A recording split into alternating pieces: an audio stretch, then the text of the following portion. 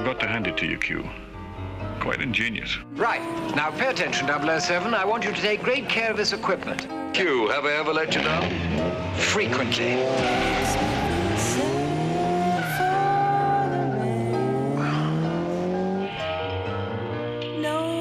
Morning, Q. Morning, 007.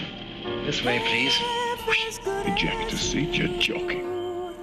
I never joke about my work, 007.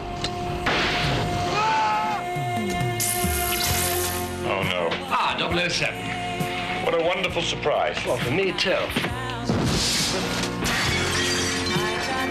Do please try and return some of this equipment in pristine order. Don't touch that.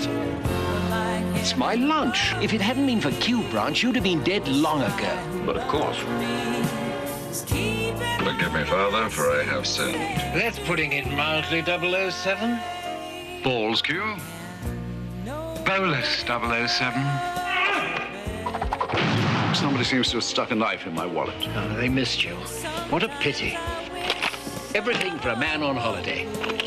Explosive alarm clock, guaranteed never to wake up anybody who uses it. Dentonite toothpaste, the latest in plastic explosive. Quite frankly, you're going to need my help. My God, what's Bond doing? I think he's attempting re-entry, sir. Morning, Q. Sorry about the leg. Skiing? Hunting. Hi, Mr. Q. Are you having any luck?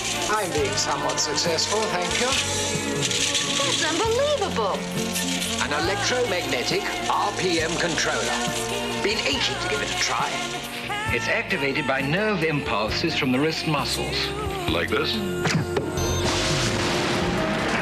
Something we're making for the Americans. It's called a ghetto blaster.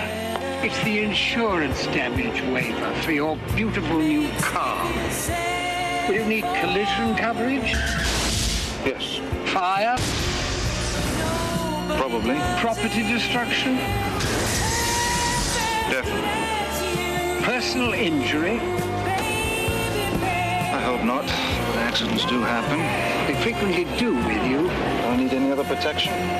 Only from B007 unless you bring that car back in pristine order. Q's not gonna like this. Now pay attention, 007. I've always tried to teach you two things.